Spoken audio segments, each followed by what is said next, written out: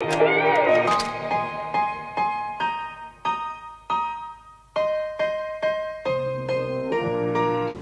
Hello everyone, welcome back to my channel. So today's video is going to be the start of a new series that I'm starting on my channel called the Gap Year Diaries and it's something that I had in my mind for the longest time. If you didn't know, hi, I'm Alyx. I am a recent grad of Macalester College in St. Paul, Minnesota and I literally just graduated like fresh two weeks ago so still fresh in there but I am taking a gap year before I continue graduate school, hopefully next year. So you'll be able to see that entire process of applying and finding the right grad school.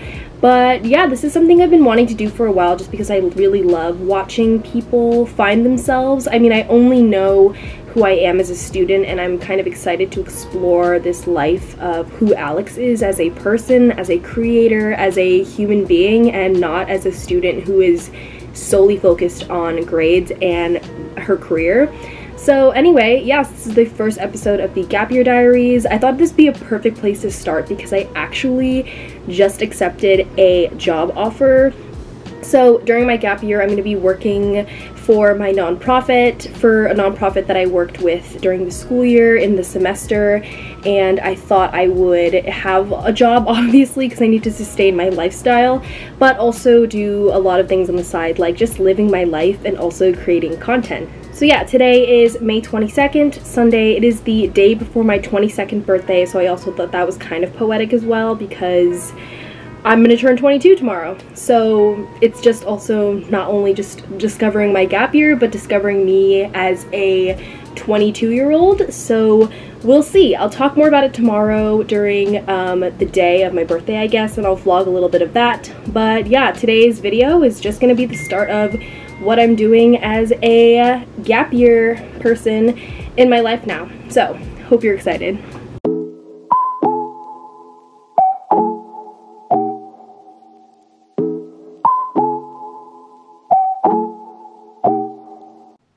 Happy birthday!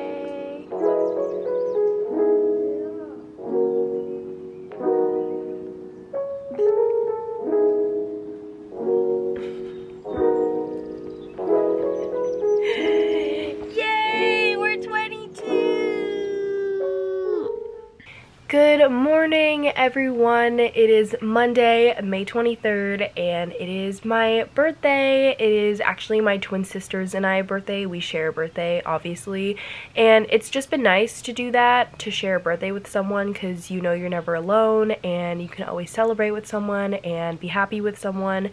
So yeah, it is my birthday. I don't know. I don't know how to feel. I feel like as you get older, birthdays become less and less of like a celebration and it's just like oh yeah the day's coming up. So like when it comes close to your birthday you're like oh god it's coming up. Like we got to do something special. But then by the time you get to your birthday you forget or like you're too tired to plan it like a huge party or something. So you just like hey it's my birthday. You wake up one day and you're just like it's my birthday.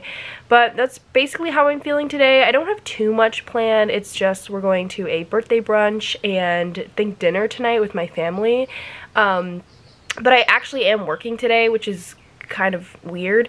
I didn't take off. I don't know. I didn't have the forethought to take off because I took off most of last week, so I didn't want to take off an additional Monday, especially since Mondays are super crazy with just like trying to deal with everything of the weekend and trying to set up a good schedule for the rest of the week. So I am working for a little bit. I'm going to hop on my computer, join a staff meeting, and then do some work. And then I'm probably going to log off uh, and like just be on call in case anyone needs anything but I'm gonna get ready for brunch and then we're gonna head to brunch.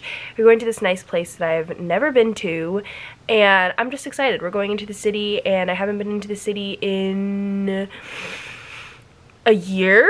I think a year. I haven't been into New York City in a year. So yeah we're gonna do that but I'm super excited for today. It's a beautiful day. It's a nice 70 degrees with a wind chill.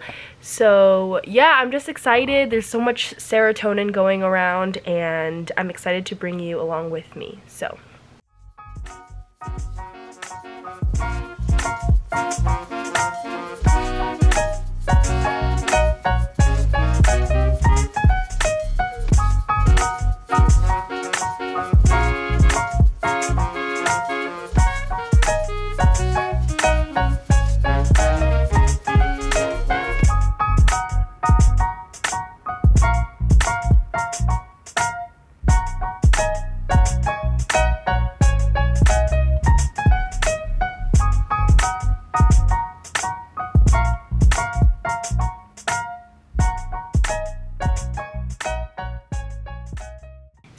back from my little birthday escapades. Um, the first thing that we did was went to brunch after I did a little bit of work. We went to brunch at this place called Allswell and my brother was like looking at it on Yelp and he's like, this place only has three stars and then we ate the food and it was phenomenal. So don't always trust the reviews, trust your gut. Uh, the, the, menu honestly looked fire and it just sounded really great. Um, and it's near a lot of places that I like to eat, so I kind of wanted to try something new and it was really good. So if you're ever in Brooklyn, definitely go there.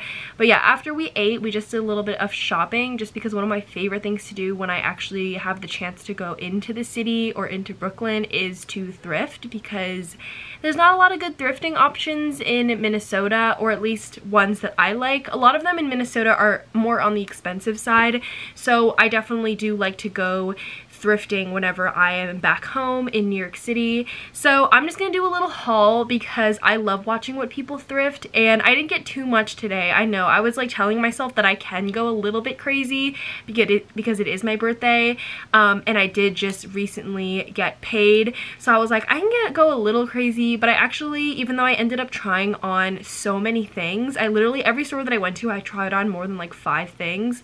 I didn't end up getting a lot just because I've been more conscious with my shopping because I know that a lot of the pieces that I have in my closet have not been worn yet or are just sitting there. So yeah, so the first place that I went to, I forgot the name of it, but it was a little vintage store and I tried on a lot of things and they were really cute. I just think now, recently, I haven't been happy with how things are looking on my body. So I did try on a lot of things, but I just didn't like the way they looked. So I didn't end up purchasing them. Um, but I did get a few accessories, which I'm actually really excited about because I've been wearing a lot of accessories lately. So if you know me in real life, you'll know that I love wearing like chunky, colorful rings.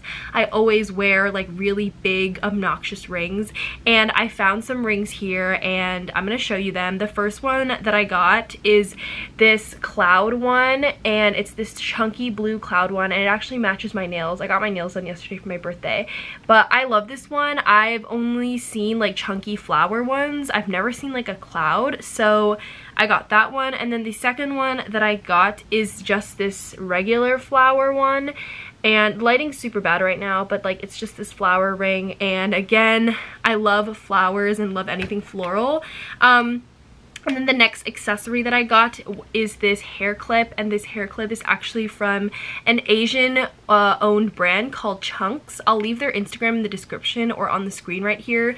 But I actually have three products from Chunks already so when I saw that they were selling them I like immediately bought another one. I'm actually wearing a Chunks hair clip right now. I don't know if you can see it.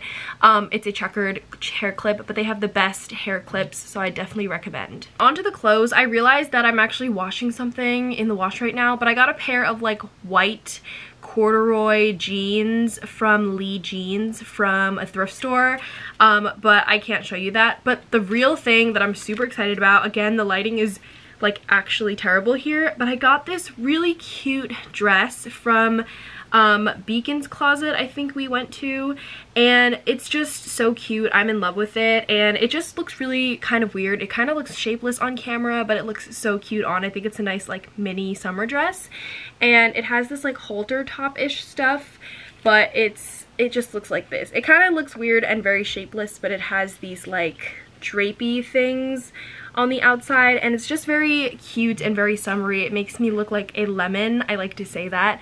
Um, but yeah, that's basically my haul. I'm like kind of surprised with the things that I, with how little I bought, but also just very happy but with the things that I bought and I don't feel like overwhelmed with like a lot of things that I have to wear. So yeah.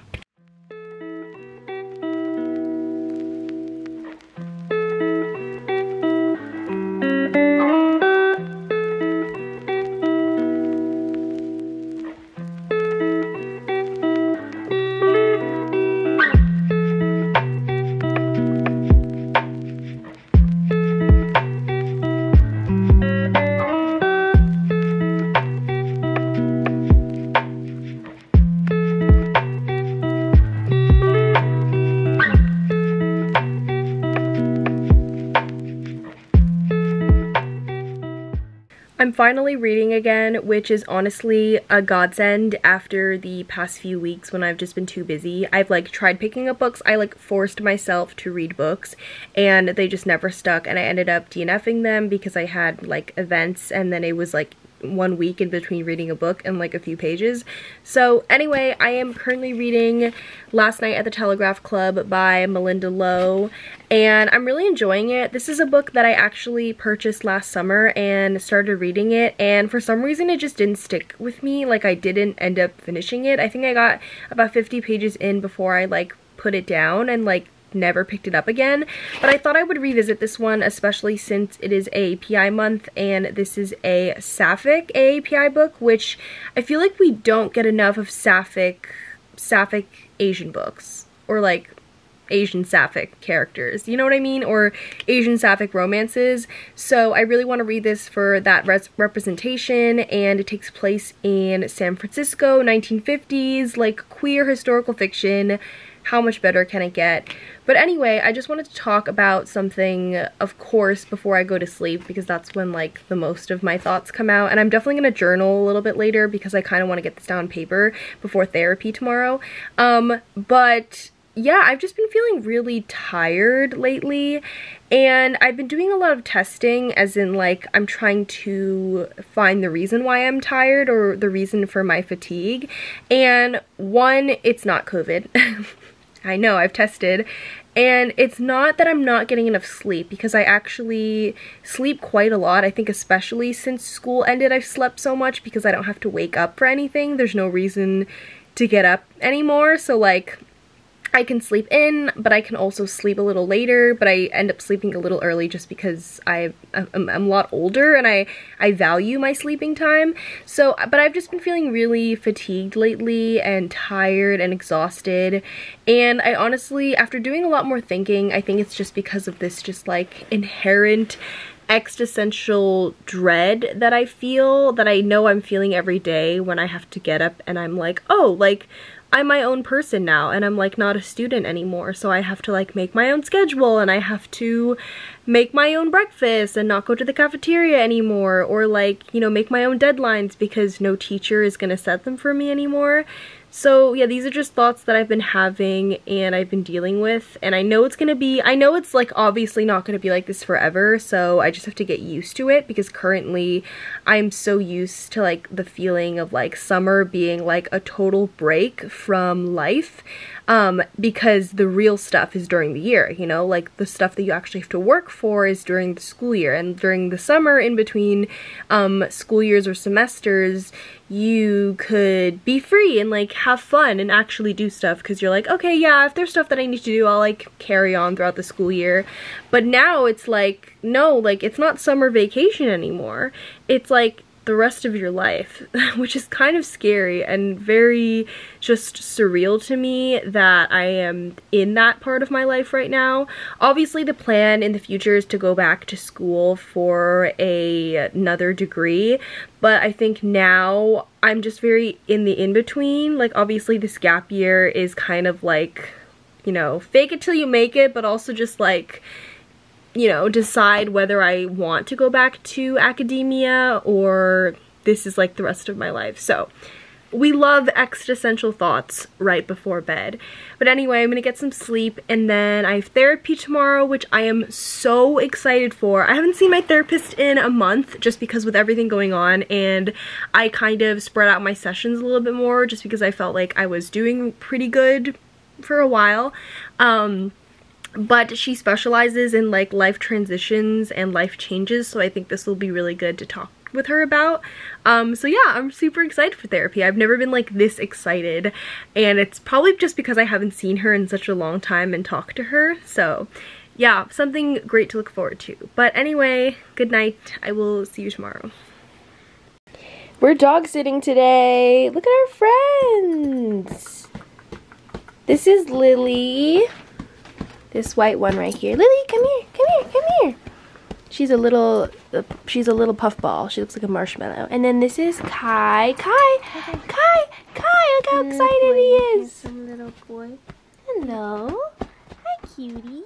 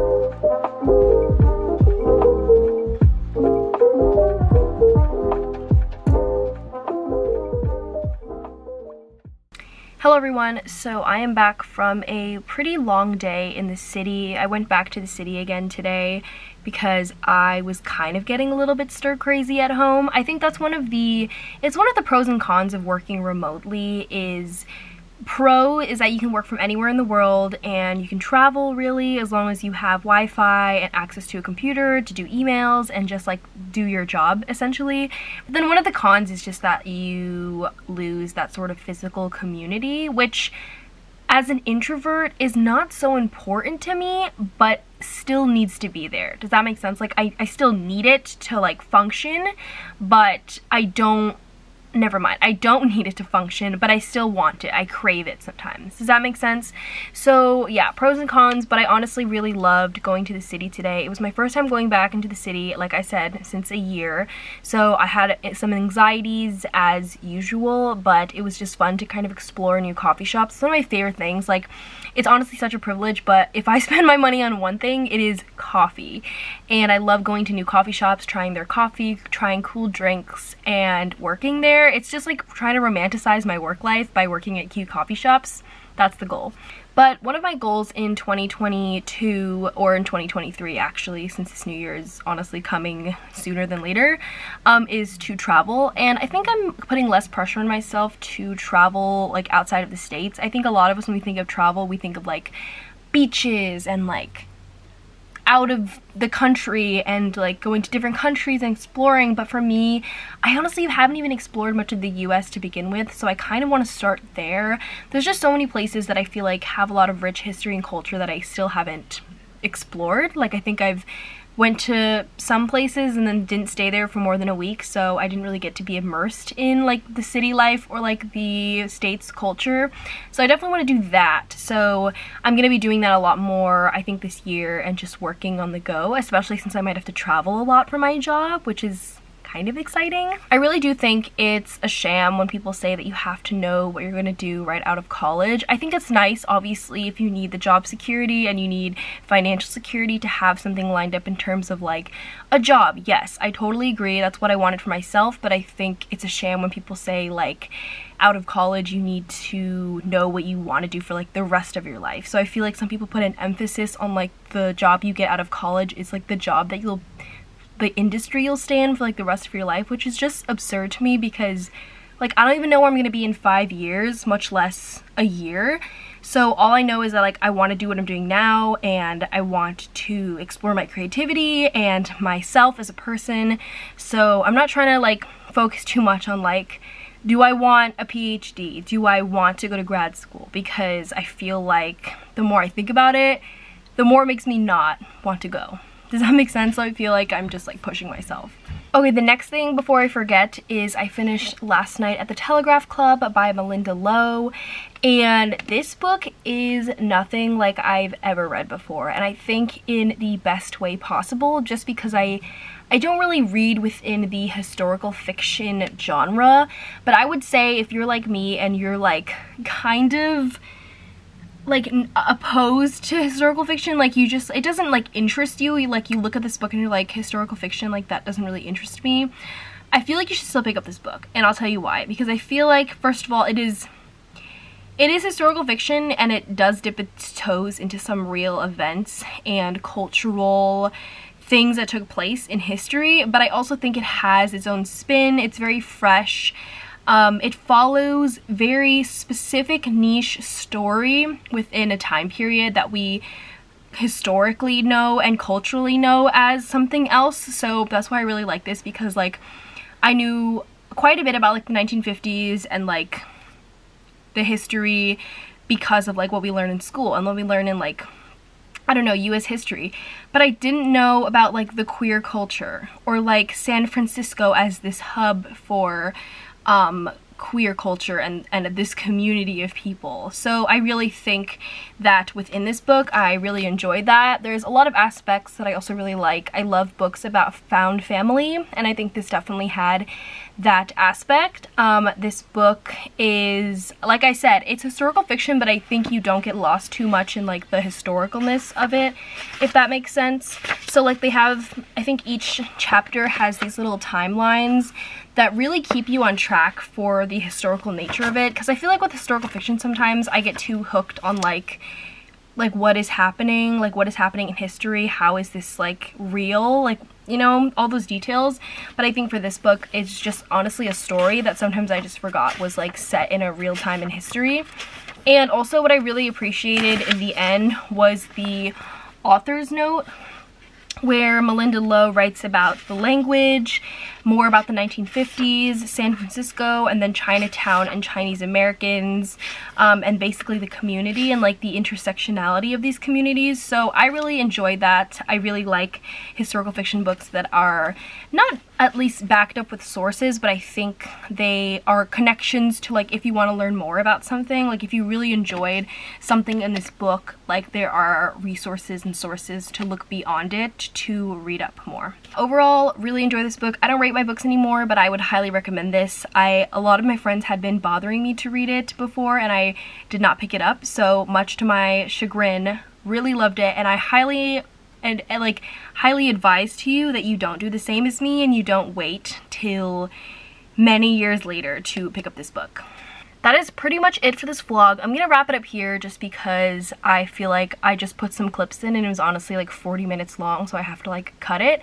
But thank you so much for following me around through this week of being a recent graduate of remote work. Um, I hope to do more of these like weekly or even daily vlogs of what it's like to be on your gap year or what it's like to be a recent graduate who's still trying to just figure things out because I honestly think that's what I'm doing. So I have a mix of like being really serious about my career but also just like being fun and lighthearted and exploring my 20s. Um, so yeah, it's a cute mix of that and thank you so much for sticking around. I hope you watch my future videos and I will see you on my next one. Bye.